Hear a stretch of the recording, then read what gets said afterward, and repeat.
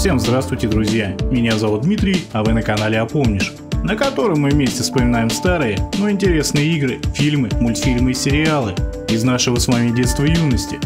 В этом видео мы вспомним игру, в которой нам приходилось истреблять враждебно настроенных инопланетян.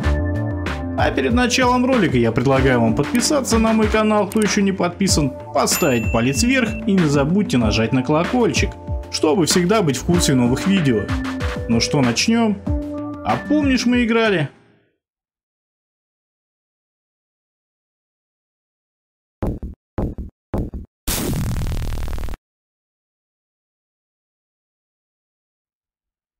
Alien Storm – это beat 'em up-шутер, выпущенный в 1990 году компанией Sega для аркадного автомата Sega System 18 и в последующем портировано на Sega Genesis, Mega Drive, Master System и домашние компьютеры, такие как Commodore 64, ZX Spectrum и другие.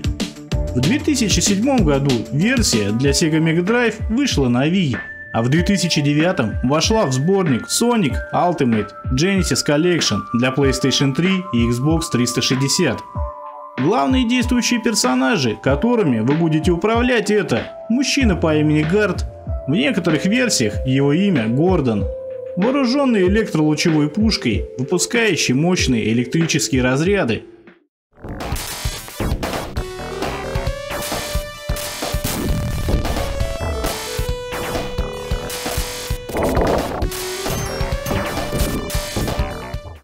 В версии для Sega Master System он вооружен как бы таким аналогом огнемета.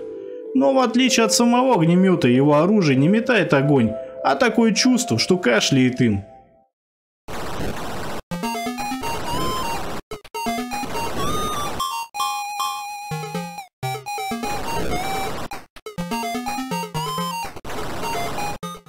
Робот-скутер, которого в версии для Sega Master System зовут Сламер, вооружен электрическим хлыстом.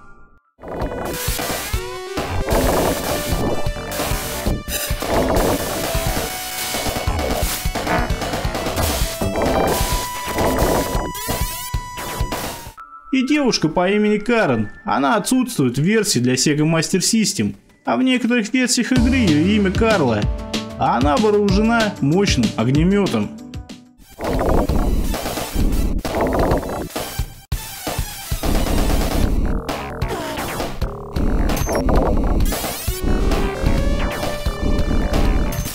Сюжет игры такой.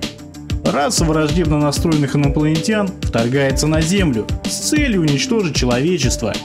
Они уже заполонили улицы огромных городов, приняв формы простых людей и даже мусорных баков, почтовых ящиков, а также других с виду ничем не примечательных вещей.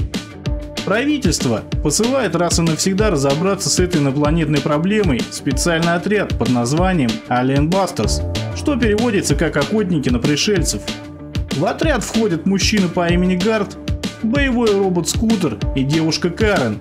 Управляя одним из них, вам предстоит проникнуть на инопланетный корабль и уничтожить мозговой центр, по пути кроша в капусту всех инопланетян, попутно спасая людей, попавших в беду. Версия игры для Sega Genesis и Mega Drive состоит из 8 миссий, поделенных на несколько этапов. На других же платформах игра состоит только лишь из 6 миссий. По рисовке, управлению и количеству персонажей Alien Storm похожа на знаменитую серию игр Golden Axe, также в ней тоже присутствует специальная атака, которая активируется кнопкой А на джойстике и тратит энергию. У Карен это что-то наподобие ракеты, падающей с неба. Гард вызывает арт-обстрел, ну а робот-скутер взрывается сам. В версии же для Sega Master System робот просто исчезает, оставив после себя взрывчатку, а после взрыва появляется вновь.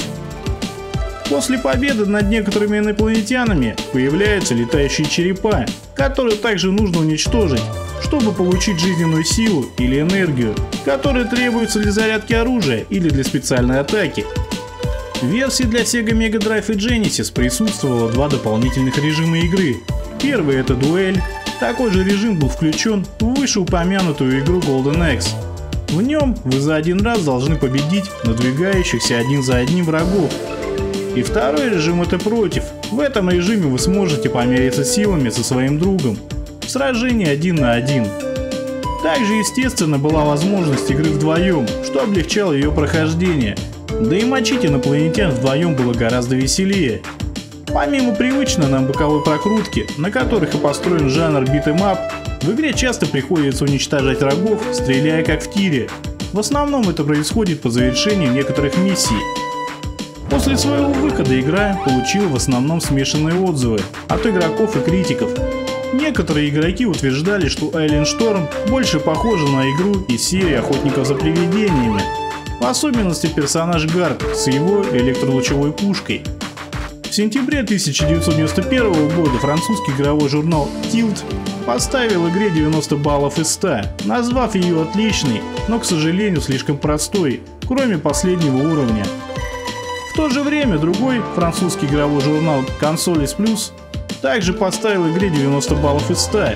Они назвали ее красивой и энергичной, но к минусам также отнесли ее недостаточную сложность. А вот немецкий игровой журнал Actueller Software Markt в октябре того же 91 года поставил игре всего 33 балла из 100, написав в своем обзоре, что игра простая стрелялка, не требующая особого интеллекта. Графика и анимация в ней на очень низком уровне, а звуковое сопровождение просто отвратительное. Лично мое мнение такое.